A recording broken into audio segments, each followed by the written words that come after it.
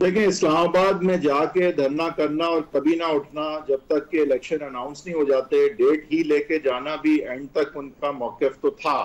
तो अगेन जिस तरह अभी भी बात हुई है, मैं समझता हूँ कि अभी इस, किसी भी चीज़ को हतमी ना समझा जाए, लेकिन इसमें कोई शक नहीं है कि हुकूमत दबाव में ज़रूर होगी और उसकी वजह यह कि अगर तो किसी वजह से ये डिजोल्यूशन हो जाती हैं, और परवेज लाई साहब, जिनकी के चाबी खान साहब के पास नहीं है और बताया जाता है कि समरी खान साहब के पास है लेकिन मैं फिर भी कहता हूँ चाबी नहीं है।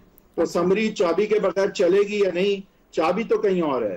तो अब क्या डिसोल्यूशन एक्चुअली हो जाती है? तो फिर तो एक बेनिफिट खान साहब को मिल तो सकता है और तो रिस्क हमेशा होता है इलेक्शन होने का। हम्म। और फिर के इलेक्शन वक्त पे हो ना हो ये भी एक सवाल होगा पर कोई आके ईसीपी का हम करा ही नहीं सकते पैसे ही नहीं है।